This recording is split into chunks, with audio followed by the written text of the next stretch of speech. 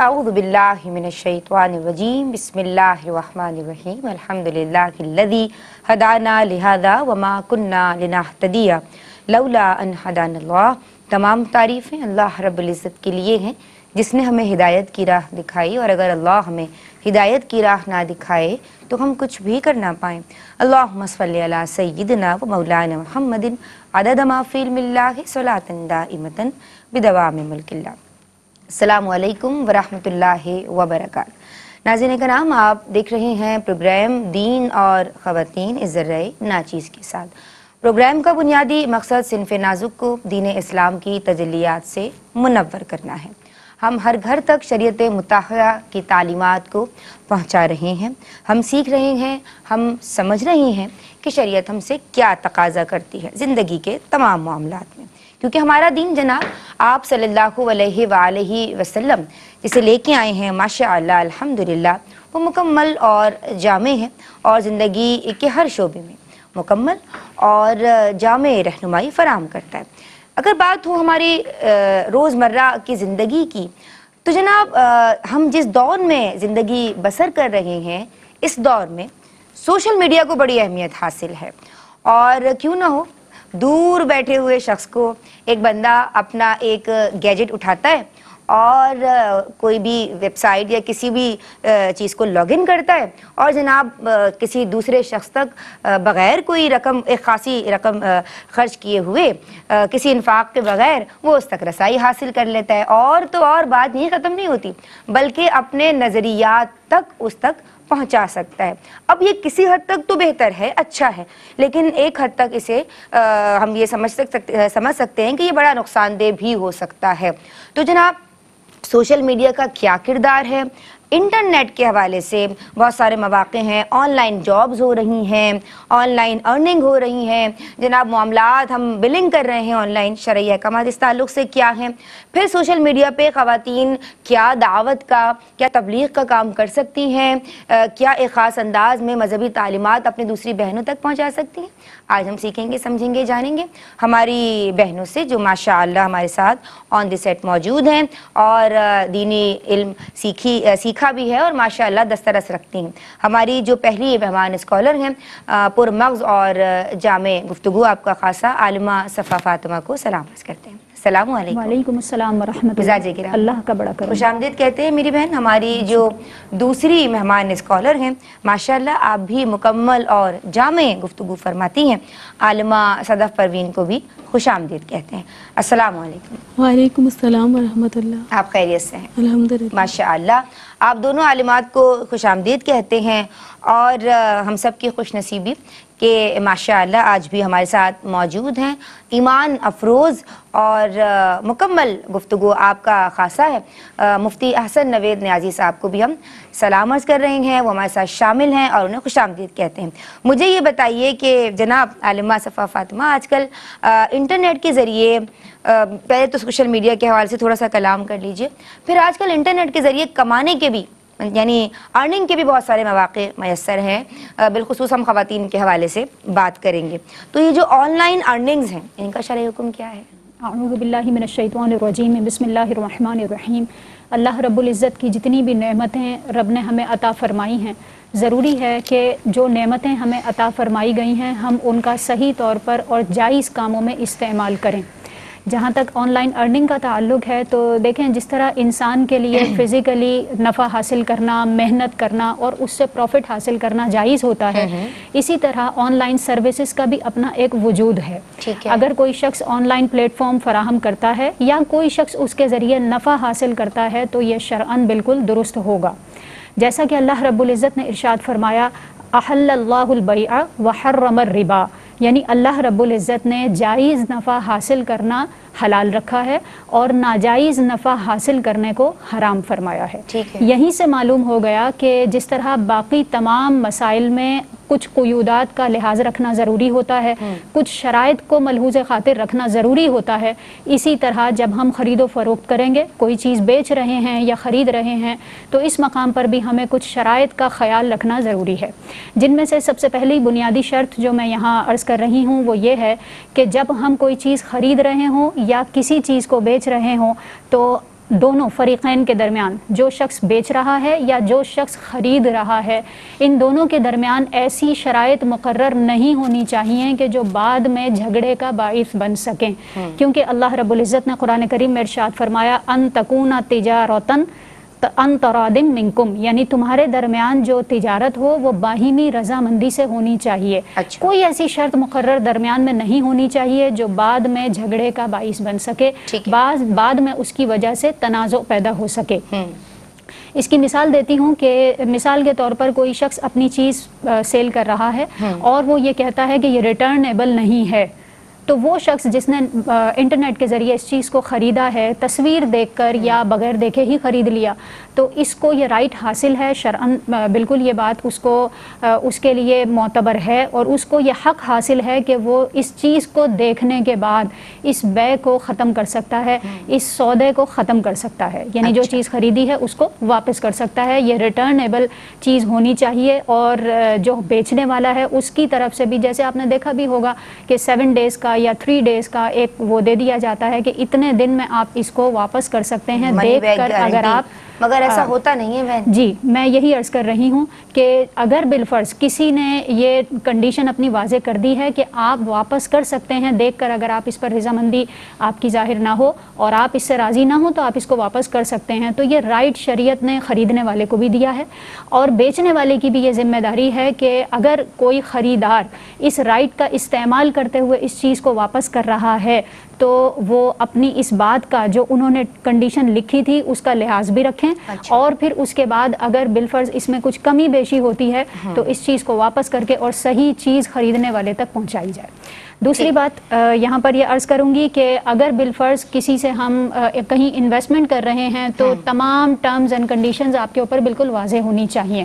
مثال کے طور پر کوئی کسی کے ساتھ آپ انویسٹمنٹ کر رہے ہیں اور درمیان میں یہ تمام چیزیں مثال کے طور پر آپ کا پیسہ جو آپ نے انویسٹ کیا وہ اپنی جگہ محفوظ رہے گا اور اس کے اوپر جب اس کو کسی بزنس میں استعمال کیا جائے گا تو جو ارننگ ہوگی اس میں آپ کو بھی حصہ دیا جائے گا۔ اگر یہ بات آپ کو معلوم ہے تو اس کے ساتھ ساتھ تمام چیزیں بالکل کلیئر ہونی چاہیے۔ مثال کے طور پر آپ کی پیمنٹ جائز کام میں استعمال ہوگی۔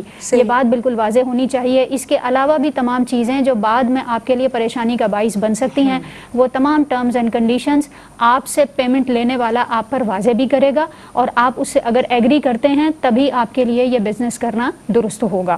اس اس کے علاوہ چند باتیں یہ ہیں کہ مبی یعنی جس چیز کو خریدا جا رہا ہے وہ موجود بھی ہو۔ مثال کے طور پر آپ نے آن لائن کسی چیز کو خریدا تو اب جب تک آپ کے قبضے میں وہ چیز نہ آئے جب تک آپ اس کے مکمل طور پر مالک نہ بن جائیں اس وقت تک آپ اس کو آگے سیل نہیں کر سکتے۔ ایک طرف سے ہم خریدتے ہیں اور ابھی وہ چیز ہمارے پاس نہیں آئی ہوتی ہے اور ہم آگے مزید اس کو سیل کرنے کے لیے نیٹ پر دے دیتے ہیں تو یہ طریقہ بھی درست نہیں ہے۔ پہلے آپ نے جو چیز خریدی ہے وہ آپ کے قبضے میں آ جائے اس کے بعد آپ اس کو مزید آگے سیل کر سکتے ہیں۔ اس کے علاوہ آخری بات یہ عرض کروں گی کہ حلال چیز cheese. جو آپ بیچ رہے ہیں وہ فی نفسی ہی وہ خود بھی حلال ہونی چاہیے اور کسی قسم کے حرام امور آپ کی بے میں شامل نہیں ہونے چاہیے۔ جیسا کہ اللہ رب العزت نے سود کو ناجائز قرار دیا۔ اسی طرح اگر ہماری جو ہم چیز بیچ رہے ہیں وہ تو حلال ہے لیکن جب ہم اس کا۔ ایڈ دیتے ہیں تو اس میں حرام امور شامل ہو جاتے ہیں۔ تو اس کا بھی خیال رکھنا ضروری ہے۔ کہ ان تمام چیزوں کو ہم پیش نظر رکھیں۔ اور آخری بات یہ عرض کروں گی کہ یہ چند بنیادی اصول ہیں جو میں نے عرض کیے ہیں اس کے علاوہ بہت سی ایسی پیچیدگیاں ہیں کہ ہم جب خرید و فروخت کرتے ہیں تو ان کا لحاظ رکھنا ہمارے لیے ضروری ہے۔ لہٰذا لازم ہے کہ اگر ہم اس طرح کی کوئی آن لائن پرچیزنگ کر رہے ہیں یا کچھ خرید و فروخت کا معاملہ ہے تو پھر اس میں ہمیں علماء سے ضرور رہنمائی لینی چاہیے تاکہ اگر بعد میں اس بزنس میں کسی قسم کی جو ہے وہ خرابی آتی ہے تو ظاہر ہے کہ یہ ہمارے لیے نقصان دہ یوں ہے۔ کہ ہم نے حرام کمایا اور ہو سکتا ہے بعض صورتیں ایسی ہوں کہ وہ حرام کمانے کا باعث بن رہی ہوں۔ لہٰذا پہلے ہی شرعی رہنمائی حاصل کر لینی چاہیے تاکہ جو نفع ہمیں حاصل ہو وہ بالکل حلال ہو اور اس کو استعمال کرنے میں کسی قسم کی شرعن کوئی قباحت نہ ہو۔ جی جناب online online earning اچھا ایک کالر ہمارے ساتھ ہیں۔ ہم نے آن لائن ارننگ کے حوالے سے بات کی۔ السلام علیکم۔ وعلیکم السلام۔ جی کیسی ہیں؟ آپ ٹھیک ہے جی اللہ کا شکر۔ میری بہن کیا پوچھنا چاہتی ہیں؟ خوش آمدید۔ بہت شکریہ۔ میں نے نا سوال پوچھنا ہے کہ اصل میں ایمان کیا ہے؟ اس کی تعریف کیا ہے؟ اور ایمان کی مضبوطی کس طرح حاصل کی جا سکتی ہے؟ بہت اچھا سوال۔ شامل کیا جائے گا اس بریک کے بعد۔ بسم اللہ الرحمن الرحیم السلام علیکم ورحمۃ اللہ جناب آج دین اور خواتین میں روزمرہ کے مسائل ڈسکس کیے جا رہے ہیں. میری بہنیں جو اس وقت براہ راست A R Y Q T V کی اسکرین پہ ہمیں دیکھ رہی ہیں، وہ یہ بات سمجھ سکتی ہیں کہ آج کل انٹرنیٹ کا دور ہے، سوشل میڈیا کے ذریعے بہت سارے معاملات کیے جا رہے ہیں، بہت ساری ڈیلنگز ہو رہی ہیں۔ یہاں تک کہ خواتین آن لائن پیسے بھی کما رہی ہیں جیسے ہم آن لائن ارننگ کہہ سکتے ہیں۔ اس تعلق سے شرع احکام ہم نے عالمہ صفا فاطمہ سے بریک سے قبل سیکھے ہیں۔ طویل وہ ایک جواب تھا۔ آپ یوٹیوب پہ جب یہ پروگرام اپلوڈ ہوگا یا صبح دس بجے جب ریپیٹ ہوتا ہے، پاکستانی وقت کے مطابق تو دیکھ سکتے ہیں۔ بات کو آگے بڑھائیں گے سوشل میڈیا ہی پہ۔ عالمہ صدف پروین، ہم جاننا چاہیں گے آپ سے ایک نیا سوال آپ کی سمجھ لے کے آ رہی ہوں۔ خواتین دعوت و تبلیغ کا بھی کام کر رہی ہیں۔ اس حوالے سے یہ کام کرنا کیسا ہے؟ یعنی اس میڈیا کو استعمال کرتے ہوئے آپ کیا فرمائیں گی شرعی احکامات کیا ہیں؟ اور کن باتوں کو ملحوظ رکھنا ضروری ہے؟ اعوذ باللہ من الشیطان الرجیم۔ بسم اللہ الرحمن الرحیم۔ نبی کریم صلی اللہ علیہ وآلہ وسلم کی حدیث مبارکہ ہے، آپ نے ارشاد فرمایا بلغو انی ولو آیتن رفاہ البخاری اس کو بخاری نے روایت کیا ہے کہ میری طرف سے پہنچا دو اگرچہ ایک ہی آیت ہو۔ اس میں سیغہ بلغو امر ہے اور یہ جمع کا سیگا ہے۔ اس میں جہاں مردوں کو حکم ہے وہاں تقریباً اس حکم کے تحت خواتین بھی شامل ہیں۔ ٹھیک ہے۔ اور جو شرعی تعلیمات ہے اگر اس کو ہم دیکھیں تو اس میں خواتین کے لیے انتہائی پردے کا حکم۔ ارشاد فرمایا گیا اللہ تعالیٰ نے ارشاد فرمایا وقرنا فی بیوتی کننا ولا تبرجنا تبرج الجاہلیت رولا یعنی اپنے گھروں میں ٹھہری رہو بے پردہ نہ رہو جیسے اگلی جاہلیت کی بے پردگی۔ اب ایک طرف ہم دیکھتے ہیں کہ جیسے جیسے زمانہ آگے بڑھتا گیا ویسے ویسے جو تبلیغ کے ذرائع ہیں ان میں بھی تبدیلی آتی گئی۔ اب سوشل میڈیا ہے اور میڈیا ہے اگر اس کو لے لیا جائے تو یہ انتہائی مؤثر ترین سورس ہے جس کے ذریعے کوئی بھی ہم اہم کام کر سکتے ہیں۔ اور ان کی جو رسائی ہے وہ تمام لوگوں تک ہے۔ تمام لوگ بآسانی یہاں تک پہنچ سکتے ہیں۔ اب اس ذریعے کو استعمال کرتے ہوئے اچھے لوگ تو بہت کم ہی ہیں۔ بہت سارے ایسے لوگ بھی ہیں جو اسلام کا لبادہ اوڑھ کر جو مسلمان ہیں ان کے دین و ایمان کے آزادی اظہار ہے نا جو جو چاہتا ہے وہ لکھ جی، دیتا ہے۔ جی بالکل۔ اس کے در پہ ہیں۔ تو اب اگر خواتین کو پردے کی رعایت کا ہی کہا جائے اور انہیں سوشل میڈیا میڈیا پر آنے کی بالکل بھی اجازت نہ دی جائے تو جو خواتین دوسری خواتین ہیں ان کے ایمان وغیرہ کا خطرہ ہے۔ اور اگر دیکھا جائے تو کچھ گھرانے ابھی بھی ایسے ہیں کہ جو نہ تو اپنے گھر والوں کی تربیت کر رہے ہیں اور نہ ہی انہیں اجازت ہے کہ وہ گھر سے باہر جا سکیں اور کسی اور ادارے سے تعلیم و تربیت حاصل کر سکیں۔ اب خواتین مجبور ہیں کہ وہ سوشل میڈیا اور میڈیا تک تک ان کی رسائی ہے۔ کم سے کم ٹی وی تو دیکھ رہی ہیں۔ پھر وہ جو غلط لوگ ہیں ان سے تبلیغ دین یعنی جو سے سیکھ رہے ہیں۔ تو اب جو شریعت ہے پھر اس صورت میں شریعت کا قاعدہ ہے کہ جو ضرورتیں ہیں وہ ممنوع چیزوں کو بقدر ضرورت جائز کر کل مفتی صاحب نے بھی اس بات کا ذکر جی تو اب یہ بقدر ضرورت کیا ہونی چاہیے؟ تو اس کے سلسلے میں ہمیں تبلیغ دین کو ضرور چار درجوں میں تقسیم کرنا پڑے گا۔ اچھا۔ پہلی جو ہے وہ کہلاتا ہے درجۂ ضرورت۔ ہاں۔ اس کے تحت وہ تمام امور آئیں گے جو ہم پر فرض ہیں یا جن سے بچنا ہم پر لازم ہے ان کو کہا جاتا ہے کہ اگر ہم نہیں بچے تو حرام میں مبتلا ہو جائیں گے۔ تو پہلا درجہ ہے ضرورت۔ دوسرا کہلاتا ہے حاجت کہ جس میں ضرر ضرورت کی حد تک تو نہیں ہوگا یعنی ضرر کی وجہ سے نقصان کا اندیشہ تو نہیں ہے لیکن بہت شدید ہمیں مجبوری کی حالت درپیش ہوگی۔ تو اس میں بھی جیسے واجبات ہیں اور واجبات کا ترک مقروع تحریمی یہ اس کے تحت آ جائیں گے۔ تیسرا ہوتا ہے درجہ منفعت کا جس کے اندر جو فرائض ہیں واجبات ہیں اس سے نیچے درجے کی چیزیں آئیں گی یعنی سنن آ جائیں گی اس کے اندر مقروح تنظیحی معاملات آ جائیں گے۔ اچھا۔ چوتھا درجہ ہوتا ہے زینت کا جس کے اندر مستحبات وغیرہ آ جائیں گے۔ تو اب جو پہلے دو درجے ہیں یعنی ضرورت اور حاجت اس کی تبلیغ دین اگر خواتین کرنا چاہتی ہیں تو انہیں باپردہ میڈیا یا سوشل میڈیا پر آنے کی اجازت ہوگی اور جو باقی نیچے درجے کے ہیں ان کے اندر انہیں منع ہی ہوگا۔ تو اس ترتیب کو اپنے ذہن میں رکھیں تو انشاءاللہ فائدہ ہوگا۔ ایک کالر ہمارے ساتھ ہیں جی السلام علیکم۔ وعلیکم السلام ورحمۃ اللہ کیا حال ہے ندا؟ جی اللہ کا شکر ہے میری پیاری بہن کیا نام ہے اور کیا سوال ہے؟ جی میں پروین پاک پتن سے ہوں۔ میرا سوال ہے کہ میرے بچے موبائل کے عادی ہو چکے ہیں اب زیادہ بہت زیادہ تنگ کرتے ہیں ویڈیو گیم کے بارے میں نا۔ تو ان کی عادت کیسے ختم کی جائے؟ بچوں کو موبائل دینا چاہیے یا نہیں دینا چاہیے؟ اور دوسرا سوال ہے کہ عورتیں مسجد میں ارتکاب بیٹھ سکتی ہیں؟ اچھا ٹھیک ہے جی۔ بہت شکریہ۔ مفتی صاحب جناب ہم آپ کی آ رہے ہیں۔ مفتی محمد احسن نوید صاحب آج ہمارے ساتھ موجود ہیں۔ حضرت بات ہوئی آن لائن ارننگ کے تعلق سے سوشل میڈیا کے تعلق سے۔ بہت سارے مواقع آج مرد و زن کے لیے موجود ہیں۔ آپ کیا کہیں گے اس تعلق سے؟ پھر خواتین دعوت و تبلیغ کا بھی کام کر رہی ہیں۔ اب یہاں کیا قیودات ہوں گی؟ کون سی باتیں ایسی ہیں کہ جن کا ان کو خیال رکھنا ہے؟ بسم اللہ الرحمن الرحیم، صلی اللہ علیہ حبیبی سیدنا و مولانا محمد و علیہ وصحابہ بارک وسلم۔ آن لائن ارننگ کے حوالے سے سب سے پہلی بات تو یہ کرنا میں ضروری سمجھتا ہوں کہ اس کے اندر ایسی بہت سی صورتیں ہیں کہ جو صورتیں ناجائز کی ہیں۔ جی۔ جائز کی صورتیں بہت کم ہیں ناجائز کی صورتیں زیادہ ہیں۔ اس لیے جو بھی آن لائن ارننگ کرنا چاہتا ہے یا کرنا چاہتی ہے وہ اپنے کسی مستند قریبی دارالفتاح سے شرعی رہنمائی لے لیں تفصیل کے ساتھ۔ جی۔ کہ اس کے بغیر ان کا حرام سے بچنا مکروح تحریمی سے بچنا ناجائز سے بچنا گناہ سے بچنا بہت زیادہ مشکل ہے۔ کیونکہ بہت سی صورتیں ایسی ہوتی ہیں ایک تو ربا ہے اول تو جو ربا یعنی سود۔ سود کو سمجھنا ہی بہت مشکل ہے۔ ہر آدمی اس کی ہر صورت کو نہیں سمجھ پاتا۔ ٹھیک اسی طرح بعض صورتوں میں کمار کا معاملہ ہوتا ہے۔ کمار کہتے ہیں جوئے کو۔ اس کو سمجھنا بھی ہر ایک کے لیے آسان نہیں ہوتا۔ بعض صورتیں بہت پیچیدہ ہوتی ہیں۔ ان میں کمار پایا جا رہا ہوتا ہے۔ اس وجہ سے وہ سودا ناجائز ہو رہا ہوتا ہے۔ اسی طرح بعض صورتوں میں غرر پایا جا رہا ہوتا ہے۔ غرر کہتے ہیں غیر یقینی صورت حال کو۔ انسرٹینٹی یہ جو غرر ہے، بہت سی چیزوں میں غرر کی وجہ سے بھی سودا یا ایگریمنٹ وہ ناجائز ہو جاتا ہے۔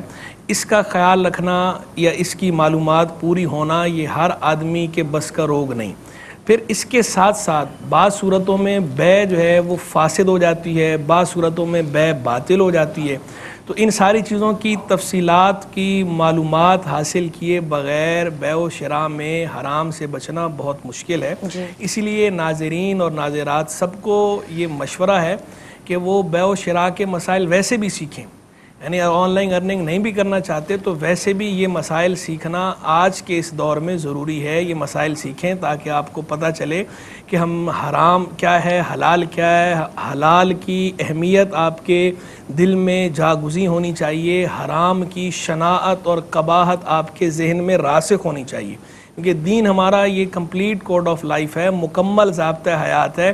صرف چند رسوم کا نام نہیں ہے، عبادات کا نام نہیں ہے۔ عبادات کے ساتھ ساتھ یہ جو معاملات ہیں، پھر ان معاملات کی صفائی، اس کا درست ہونا بھی دین کا بنیادی تقاضا اور مطلوب ہے۔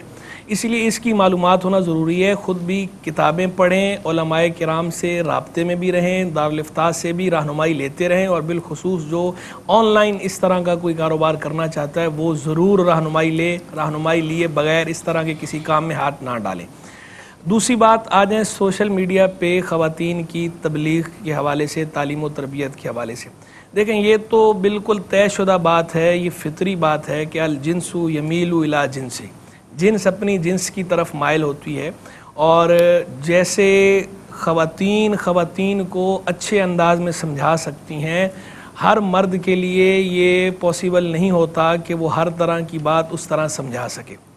ہمارے دین چونکہ ابھی میں نے کہا مکمل ضابطہ حیات ہے اس میں ہر طرح کی چیزیں تو ان ہر طرح کی چیزوں کو درست انداز میں سمجھانے کے لیے، خواتین کی رہنمائی کے لیے خواتین کا ایسے پلیٹ فارم استعمال کرنا درست ہے۔ لیکن یہ بہرحال ملوز رہے کہ جو شرع حدود ہیں شرع حدود اور قیود انہیں ہر وقت، ہر آن ملوز رکھنا ہے۔ ان کی پامالی کا کوئی تصور بھی نہیں کیا جا سکتا۔ یہاں اسی بالخصوص پردے کی جو بات ہے تو پردے کی رعایت تو بہرحال کی جائے گی اور پردے کی رعایت کا کہا بھی جائے گا۔ پردے کی رعایت کے ساتھ ہی اجازت ملے گی، رخصت ملے گی۔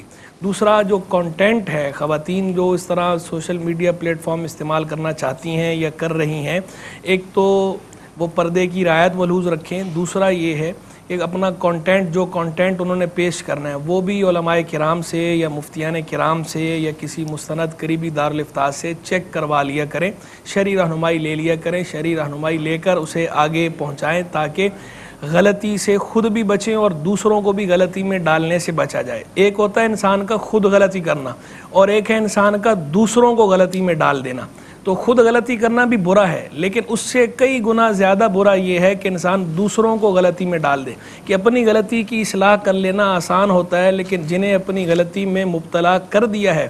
اب ان تک پہنچنا، ان تک ایکسیس ہونا، ان تک رسائی ہونا، پھر اس غلطی کا ازالہ کرنا بہت سی صورتوں میں بہت زیادہ دشوار ہو جاتا ہے۔ تو اس لیے اس معاملے کی حساسیت اور اس کی نزاکت کا ہر آن خیال رکھیں، اسے بھرپور اس کا لحاظ رکھا جائے۔ ٹھیک ہے حضرت کالر ہمارے ساتھ ہیں۔ جی السلام علیکم۔ ندا؟ میں ٹھیک ہوں اللہ کا شکر۔ میری کون بہن میرے ساتھ ہیں اور کیا پوچھنا چاہتی ہیں؟ میں سدرا بات کر رہی ہوں لاہور سے۔ میرا۔ کوشچن یہ ہے کہ جی۔ کہ کہتے ہیں کہ نا بینک میں جاب کرنا اچھا نہیں ہے کیونکہ وہاں پہ سود کا کام ہوتا ہے سود لینے والا دینے والا لکھنے والا وہ سب یعنی کہ گناہ میں آتے ہیں۔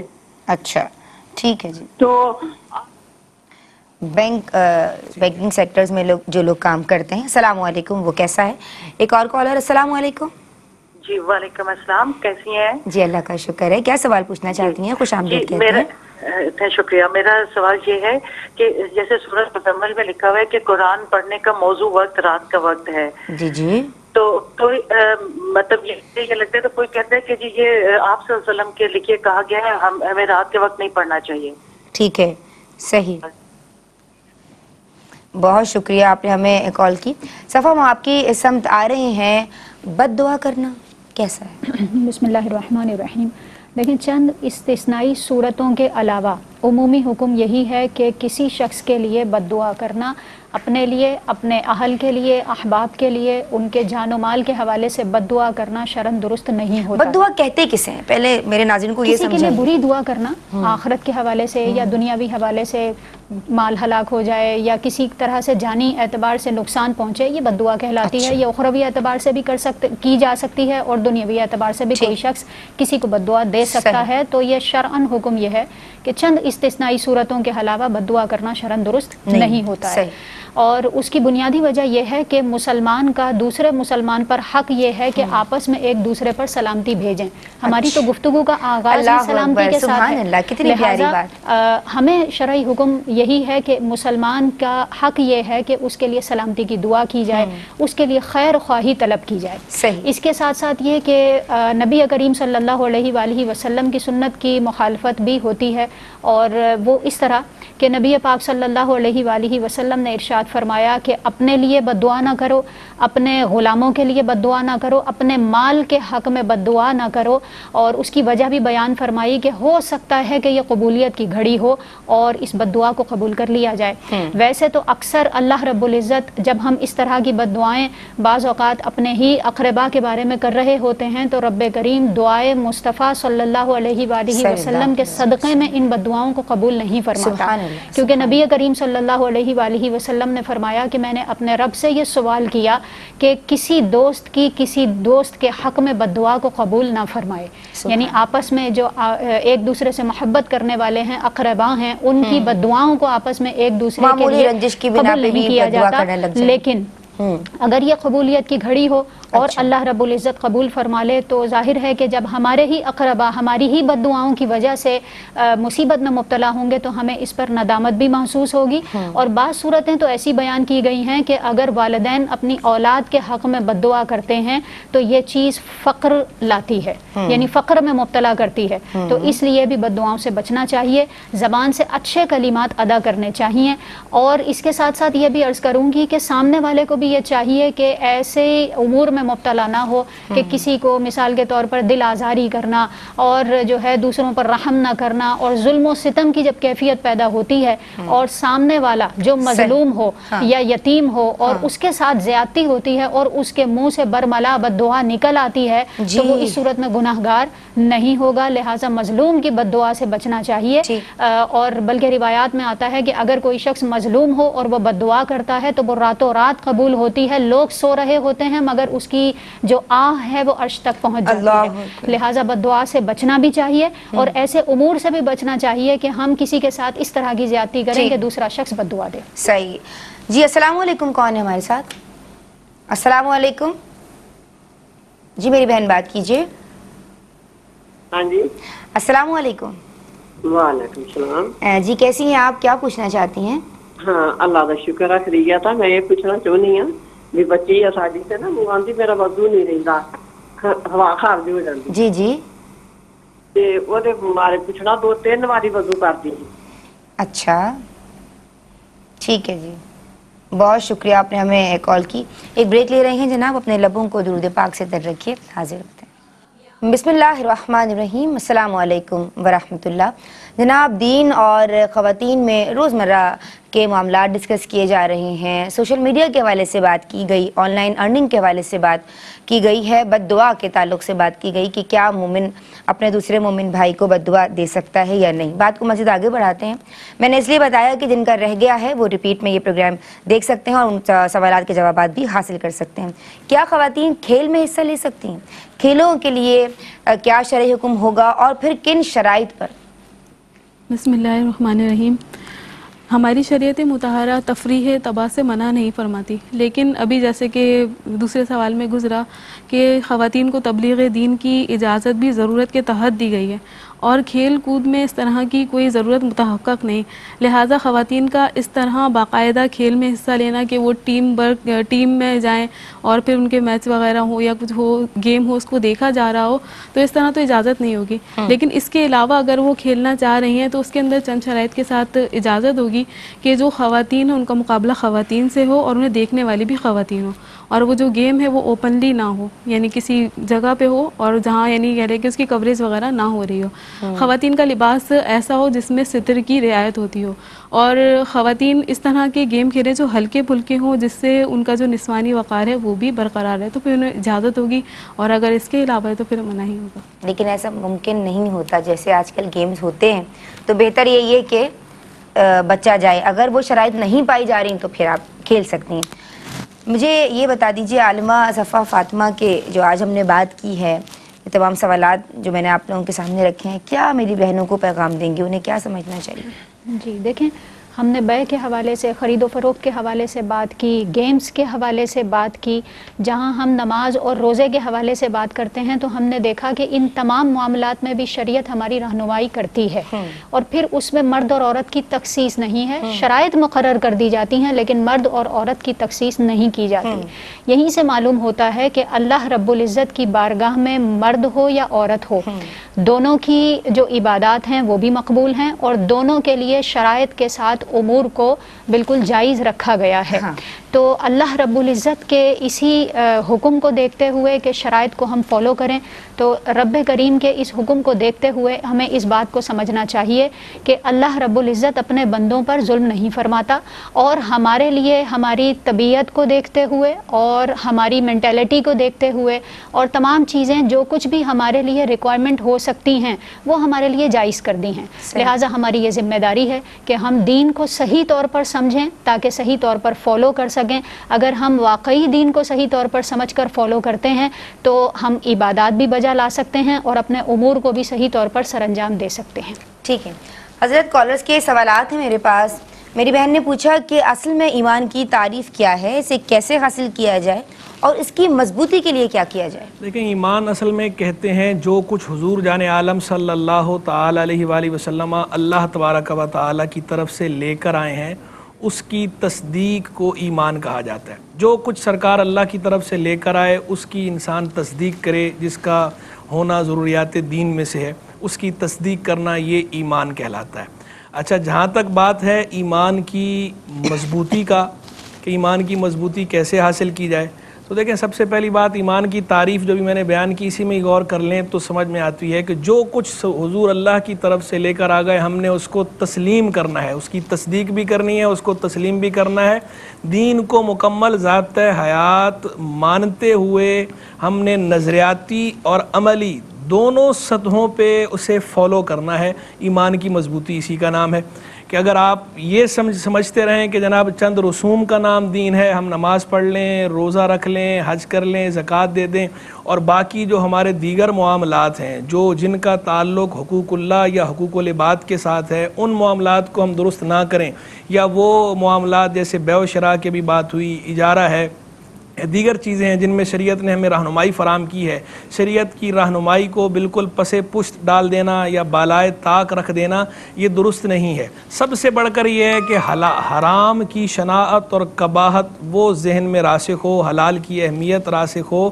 حلال جتنا حلال پہ غور کریں گے اور حلال کمائیں گے، حرام سے بچیں گے، اتنا ہی قلب میں ایمانی کیفیت مضبوط ہوتی چلی جائے گی۔ کیونکہ حلال خوراک اپنے اثرات رکھتی ہے اور حرام خوراک اپنے اثرات رکھتی ہے۔ حرام خوراک جو ہے وہ اثر انداز ہوتی ہے حلال خوراک بھی اثر انداز ہوتی ہے۔ تو حلال و حرام کا بھرپور فرق ملحوظ رکھیں اور اللہ تبارک و تعالیٰ کا کثرت سے ذکر کریں اور اس بات کو بھی یاد رکھیں۔ اپنا محاسبہ بھی کرتے رہیں کہ ہم نے اللہ کے حضور پیش ہو کر اپنے ہر عمل کا جواب دینا ہے۔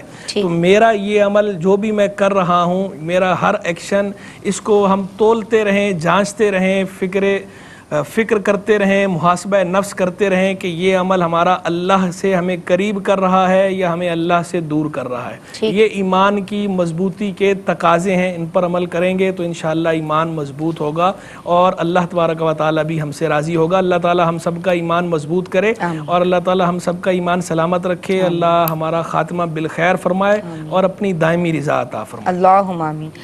حضرت سوال آیا ہے کہ بچے موبائل کے عادی بن گئے ہیں اسپیشلی ویڈیو گیمز کھیلنے کے۔ دیکھیں، بچوں کو بعض چیزیں جو ہے وہ پیار سے سمجھانی ہوتی ہیں اور بعض چیزیں تھوڑا سختی سے سمجھانی ہوتی ہیں۔ دونوں چیزوں کو بین بین رکھنا ہوتا ہے۔ بہت زیادہ لاڈ پیار بھی بچوں کو بگاڑ دیتا ہے اور بالکل ہر وقت ڈانٹ ڈپٹ یا مار پیٹ یہ بھی بگاڑ دیتی ہے۔ تو اعتدال، الاعتدال حلیت الرجال۔ اعتدال ملوز رکھ کر تھوڑا انہیں کبھی ڈانٹ ڈپٹ کے سمجھائیں، کبھی جو ہے وہ پیار سے سمجھائیں تو انشاءاللہ امید ہے یہ عادت چھٹ جائے گی۔ اور پہلے بھی میں نے جہاں تک وظیفے کی بات ہے، وظیفہ بھی پہلے بھی عرض کیا تھا، اللہ ولی الدین آمن یخرجہم من الظلمات الى النور۔ یہ آیت ہے، اس آیت کا ورد کیا کریں اور اول آخر دروشی پڑھ لیا کریں، اس کے بعد دعا مانگ لیا کریں، انشاءاللہ بچے کی بری عادت یہ چھٹ جائے گی۔ عورتیں مسجد میں اعتکاف کر لیں۔ عورتوں کا اعتکاف، ویسے ہمارے فقہ حنفی کی روح سے تو عورتوں کا اعتکاف گھر میں ہوتا ہے، مسجد بیت میں۔ لیکن جہاں کہیں عورتوں کے لیے اعتکاف کی سہولت موجود ہو، جیسے دیگر باہر کنٹریز ہیں، چونکہ دنیا کے اندر ہر جگہ فقہ حنفی کے فالورز نہیں ہیں، فقہ مالکی کے فالورز بھی پائے جاتے ہیں، فقہ شافی کے بھی پائے جاتے ہیں، فقہ عملے کی بھی پائے جاتے ہیں۔ تو اگر کسی جگہ پر ایسا ہے کہ مردوں اور عورتوں کا اختلاط نہیں ہے، الگ سے بالکل مسجد میں سپریٹ جگہ ہے، وہاں مردوں کا کوئی جانا نہیں ہے، عمل دخل کسی قسم کا نہیں ہے، تو اس صورت میں اور پردے کی بھرپور رعایت ہے۔ اور کسی بھی شرعی حد یا شرعی قید کی پامالی ممکن نہ ہو وہاں پر۔ اس طرح کا کوئی ماحول کسی جگہ پر، کسی ملک میں، کسی علاقے میں ہو، تو وہاں پر ایسی صورت میں اگر عورت اعتکاف مسجد میں کر لیتی ہے تو اس کو رخصت دی جائے گی۔ لیکن ہمارے ہاں برے صغیر پاک و ہند کے اندر اس طرح کا ماحول نہیں ہے، یہ اس طرح کا رواج نہیں ہے۔ ہمارے ہاں اس کی اجازت نہیں ہے۔ تاحال ٹھیک ہے حضرت، بینک میں جاب کرنا کیسا ہے؟ دیکھیں، بینک کے اندر چونکہ معاملات ربا کے بھی ہیں، کمار کے بھی ہیں، غرر کے بھی ہیں، تو بینک کے اندر جاب کرنے سے عام حالات میں ہم منع ہی کرتے ہیں۔ بینک میں جاب نہ کی جائے، دیگر کوئی جائز اور حلال روزگار تلاش کیا جائے۔ وہ حدیث مبارک میں لانت فرمائی گئی ہے، سود کھانے والے پر بھی، سود دینے والے پر، سود لینے والے پر، سود کا معاہدہ لکھنے والے پر، سود کے گواہ بننے والوں پر۔ تو بینک کی ہر وہ نوکری کے جس میں ان چیزوں میں سے کوئی بھی چیز پائی جا رہی ہو، وہ نوکری ناجائز ہے۔ جن میں ایسی کوئی چیز نہ پائی جا رہی ہو تو وہ نوکری حد جواز کے اندر ہے، جیسے پیون کی نوکری ہے یا سیکیورٹی گارڈ کی نوکری ہے۔ بینک میں کوئی سیکیورٹی گارڈ ہے یا بینک کے اندر کوئی پیون ہے تو اس کی نوکری تو بہرحال جائز ہے، لیکن دیگر وہ ساری نوکریاں بینک کی کہ جن میں ان میں سے کوئی چیز پائی جا رہی ہو جو میں نے گزارش کی تو وہ جائز نہیں ٹھیک ہے۔ حضرت ایک سوال یہ آیا کہ سورہ مزمل میں جو فرمایا گیا ہے کہ رات کے وقت قرآن پڑھنا۔ تو میری بہن نے پوچھا یہ آپ صلی اللہ علیہ وسلم کے لیے کہا گیا ہے تو کیا رات میں تلاوت ہمیں منع کی جا رہی ہے؟ صبح کے قرآن میں اکیلی صبح کے وقت قرآن پڑھنا ہمارے لیے زیادہ اچھا ہے۔ پہلی بات تو یہ سمجھ لیں کہ جب تک کسی چیز کے بارے میں یہ تصریح موجود نہ ہو کہ یہ حضور جان عالم صلی اللہ تعالی علیہ وآلہ وسلم کے ساتھ خاص ہے اس وقت تک اس کے حکم میں عموم رہتا ہے وہ سرکار عیسیٰ السلام کے ساتھ خاص نہیں ہوتی بلکہ وہ سب کے لیے ہوتی ہے۔ تو یہاں بھی اول تو ایسی کوئی تخصیص نہیں، دوسری بات یہ کہ صبح ہو یا شام ہو، دن ہو یا رات ہو، بہرحال ہر وقت اللہ کا ذکر کرتے رہنا چاہیے، قرآن کی تلاوت کی بھی ہمیں ترغیب دلائی گئی ہے، خود قرآن گیا ہے۔ ذکر کی ترغیب بھی دلائی گئی ہے اور ذکر کے اندر قرآن مجید فرقان حمید کی تلاوت بھی شامل ہے۔ قرآن کی الگ سے تلاوت کے احکام بھی موجود ہیں اور ذکر کے جو احکام موجود ہیں ان میں بھی تلاوت قرآن شامل ہے۔ تو رات میں بھی قرآن مجید فرقان حمید کی تلاوت کی جا سکتی ہے بلکہ کرنی چاہیے۔ مرد ہوں یا خواتین ہوں جو بھی ہوں قرآن کی تلاوت کریں۔ قرآن کی تلاوت تو اس کو بلکہ لازم پکڑ لیں۔ لوگ ہم سے وظائف پوچھتے ہیں تو میں اکثر کہتا ہوں کہ قرآن کی تلاوت سے بڑھ کر کون سا وظیفہ ہے؟ سب سے بڑا وظیفہ جو ہے یہ اللہ کا کلام ہے تو اللہ کے کلام کو لازم پکڑیں یہ انشاءاللہ دنیا اور آخرت دونوں کو سنوار دے گا۔ بے شک۔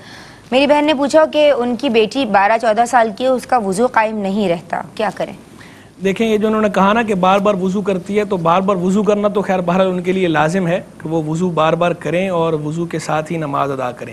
ہاں اگر کوئی ایسا معاملہ درپیش آ گیا ایسا عذر ہو گیا کہ وہ کوئی انہیں اتنا وقت بھی نہیں مل سکا کہ ایک فرض نماز اس کے جو فرائض ہیں وہ ادا کر سکیں درست وضو کے ساتھ تو پھر اسے شرع معذور کہا جاتا ہے۔ تو اس صورت میں ان کا وضو اس عذر جس عذر جو انہیں لاحق ہے اس عذر کی وجہ سے وضو اس نماز کے لیے نہیں ٹوٹے گا ایک وقت کے لیے اس میں وہ وضو بہرحال قائم رہے گا نماز پڑھ سکتی ہیں لیکن جب وقت ختم ہو جائے گا تو اگلی نماز کے لیے اثر نو وضو کرنا پڑے گا۔ ٹھیک السلام علیکم ایک کالر ہیں۔ السلام وعلیکم السلام ورحمۃ اللہ جی میری بہن کیا پوچھنا چاہتی ہیں؟ جی میرا سوال ہے میں نے رمضان میں زکوٰۃ نکالا تھا پیسے کی بھی سونے کی بھی۔ ٹھیک ہے۔ تو تقریباً بہت پیسے نکلے تھے۔ میں سب جگہ تقسیم کر چکی ہوں۔ ماشاء اللہ پاکستان افغانستان انڈیا وغیرہ ادھر بھی۔ لیکن کچھ پیسے میرے پاس ابھی تک ہیں دو ہزار درہم۔ تو میں نے ایک غریبوں کا ڈبہ ہوتا ہے میں اس میں جو خیرات ڈالتی ہوں اس میں رکھی ہوئی ہوں۔ جو ضرورت مند مل جائیں گے تو دوں گی بول کر۔ تو اس کے بارے میں کیا بولنا؟ ٹھیک ہے ٹھیک ہے جی۔ جی ایک اور کالر السلام علیکم۔ اچھا یہ لائن ڈراپ ہو گئی ہے۔ حضرت میری بہن نے پوچھا ہے کہ رمضان میں انہوں نے سونے کی اور اپنے پیسے کی جو بھی ان کے پاس کیش تھا زکوٰۃ نکالی۔ کچھ پیسے کچھ دو ہزار درہم کے قریب ابھی بھی بچے ہوئے ہیں انہوں نے کسی باکس میں رکھے ہوئے شرح حکم کیا ہوگا اس کال کے بعد؟ السلام علیکم۔ السلام علیکم۔ وعلیکم السلام۔ جی خوش آمدید کہتے ہیں۔ کیا پوچھنا چاہتی ہیں؟ میں بیٹا یہ پوچھنا چاہتی ہوں کہ میرا ملازم بھاگ گیا اس کو میں نے ادار دیا تھا۔ میرا بیٹا فوج میں میجر ہے۔ میں بیٹے کے پاس رہتی ہوں۔ جی جی۔ وہ اب کینٹ میں نہیں آ سکتا کہ اس کو پتا ہے میں بھاگ گیا تھا تو مجھے تو وہ فوج پکڑ لے گی۔ اب میں نے اس کو فون پہ کہا ہے کہ بیٹا تم آؤ میں تمہارا تمہیں ظاہر نہیں کروں گی میں تمہیں پیسے دوں گی۔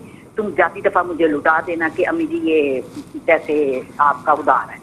اچھا۔ تو وہ کہتا ہے نہیں آپ فون پہ ہی مجھے نا زکوٰۃ سمجھ کے دے دیں مجھے معاف کر دیں کہ کہ یہ میں نے آپ سے ادار نہیں لیا زکوٰۃ لی ہے۔ تو کیا جی۔ اس طرح میری زکوٰۃ ہو جائے گی؟ اچھا ٹھیک ہے جی بہت شکریہ آپ نے ہمیں کال کی۔ جی حضرت پہلے سوال کا جواب دیجیے۔ دیکھیں پہلے میں جو انہوں نے پوچھا ہے کہ اس کا حکم شرعی کیا حکم شرعی یہ ہے کہ ان پہ بہرحال اس زکوٰۃ کو مستحق تک پہنچانا لازم ہے؟ زکوٰۃ کو مستحق تک پہنچا دیں جتنا جلد پہنچا سکیں اتنا اچھا ہے۔ اس میں تاخیر نہیں کرنی تاخیر نہ چاہیے۔ بلا وجہ تاخیر نہیں کرنی چاہیے درست نہیں ہے۔ دوسری بہن نے پوچھا کہ ملازم بھاگ گیا بیٹا ان کا آرمی میں میجر ہے اور جو ہے ادھار جو ہے وہ لے کے چلے گئے ہیں۔ اب وہ تو ایسے فون کر کے بھی ڈانٹ سکتی ہیں ویسے تو آنٹی آپ۔ لیکن اب وہ کہہ رہی ہیں کہ زکوٰۃ سمجھ کے وہ پیسے معاف کر دوں اگر وہ ان کو وہ فون پہ اگر نہیں، بات کر ہے- زکوٰۃ ادا ہو جائے گی؟ اس طرح زکوٰۃ سمجھ کے معاف نہ کریں انہیں کہیں کہ وہ قرض لوٹا دے اور اسے پھر یہ زکوٰۃ کی نیت سے ہی دوبارہ دے دیں اسے۔ اس طرح اچھا وہ آ نہیں رہے نا وہ تو آ ہی نہیں رہے ان کے پاس۔ نہیں وہ تھوڑی سی اس سے اگر بات کریں گی بارگیننگ کریں گی تو وہ آ بھی جائے گا۔ اچھا۔ کوئی ایسی بات نہیں ہے۔ ہاں آنٹی ذرا دوبارہ کال کیجیے ان کو بلائیے وہ پیسے ان کو معاف کیجیے یا ان کو وہ دے دیجیے اور ایسی زکوٰۃ نہیں ہوگی ٹھیک اچھا ہے دوسری ایک وضاحت ہے۔ وہ نہیں اس کی بات نہیں کر رہا میں اچھا۔ پیچھے جو گفتگو ہوئی بد دعا کے حوالے سے اس میں جی جی، جی۔ ایک یہ رخصت بیان کر دوں کہ جو اس چیز کی رخصت دی گئی ہے کہ مظلوم ظالم کے خلاف بد دعا کر سکتا ہے جی، جی۔ شریعت نے اس کی اجازت دی ہے اگرچہ بہتر یہ ہے کہ بد دعا نہ کرے لیکن اس کی اجازت دی ہے لیکن اس میں یہ ملوز رکھنا ضروری ہے کہ وہ جو بد دعا کی جائے وہ اعتدال سے متجاوز نہ ہو اچھا۔ اعتدال کے ساتھ ہو اس سے جتنے کا وہ مستحق ہے نا اس سے۔ زائد اس کے حق میں بد دعا کرنا درست نہیں قرآن مجید فرقان حمید میں جہاں یہ ارشاد فرمایا نا وَإِنْ آقَبْتُمْ فَآقِبُوا بِمِثْلِ مَا أُوقِبْتُمْ بِهِ. وَلَئِنْ صَبَرْتُمْ لَهُوَ خَيْرٌ لِلصَّابِرِينَ کہ جب تم کسی کو سزا دو تو اتنی دو جتنی تکلیف اس نے تمہیں پہنچائی تھی جو تمہیں پہنچائی گئی تھی۔ اور اگر تم صبر کر لو تو یہ بہت بہتر ہے صبر کرنے والوں کے لیے۔ تو ہر چیز کے اندر ایسا ہی ہے کہ جہاں بھی شریعت نے بدلے کا تصور رکھا ہے تو بدعا بھی چونکہ ایک طرح کا بدلہ ہی ہے ہر جگہ فقہ نے فرمایا کہ جو بدلہ ہے وہ بدلہ اتنا ہی لیا جا سکتا ہے جتنا اگلے نے تکلیف پہنچائی ہے۔ اس کی تکلیف سے زائد اگر بدلہ لیں گے تو آپ مظلوم کی کیٹیگری سے اوپر اٹھ کر ظالم کی کیٹیگری میں آ جائیں گے۔ تو آپ نے ظالم بننے سے بچنا ہے مظلوم ہے تو مظلوم ہی رہیں اور بد دعا اول تو کریں نا اس کے لیے ہدایت کی دعا کریں بہتر لیکن اگر کر دی کرنی ہے تو ایسی کریں جو جتنی اس نے آپ کو تکلیف پہنچائی تھی اس سے زائد کی بد دعا نہ ہو۔ ٹھیک ہے مفتی صاحب شکر گزار ہیں آپ کے عالمات، آپ دونوں کی شکر گزار ہیں۔ ناظرین، آپ لوگوں کا شکریہ۔ آپ لوگ ہمیں کالز کرتے ہیں، زندگی نے وفا کی، تو انشاءاللہ اگلے ہفتے کسی نئے موضوع کے ساتھ یا اسی موضوع کو آگے بڑھائیں گے۔ فی امان اللہ۔ السلام علیکم۔ ورحمۃ